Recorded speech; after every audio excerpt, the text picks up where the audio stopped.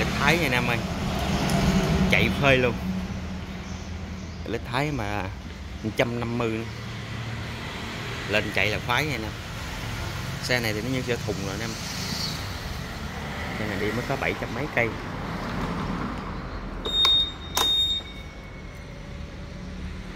bảy trăm sáu mươi hai cây. Nãy giờ em chạy cũng đâu bốn năm cây. Mới lắm nha nè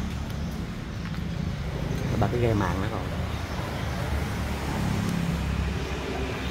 Này phấn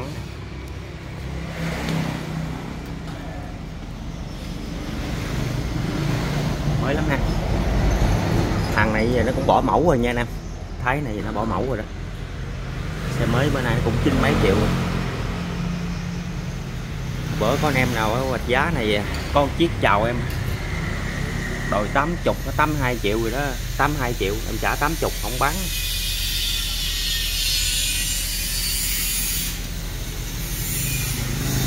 Con này như 220 nè. 220 cuối 20 từng cái 49 này nè. Hình như cái thẻ đăng ký 21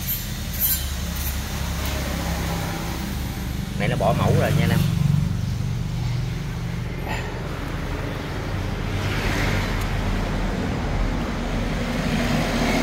Có mở ha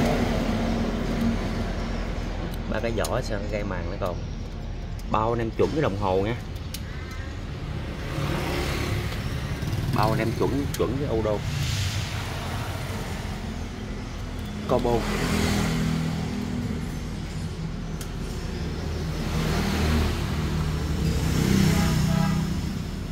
Đang thui ha.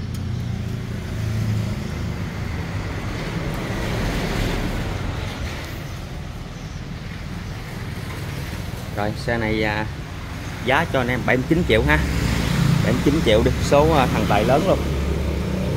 79 triệu là bao à, bao hồ sơ cho anh em nha.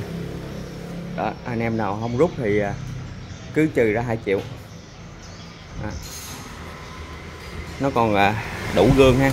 Lít thái này thì chỉ một mút thôi nha anh em. Chứ không phải như qua rô đâu chỉ một một thôi kiến ở trong này.